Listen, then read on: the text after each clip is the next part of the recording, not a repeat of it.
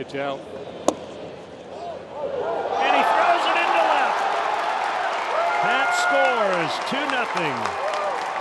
Elias Diaz commits a big error. Yeah, design play. You see him set up over in the left-handed batter's box. Going to take a shot at Ian down there at third base, but it doesn't work if you don't hit the third baseman.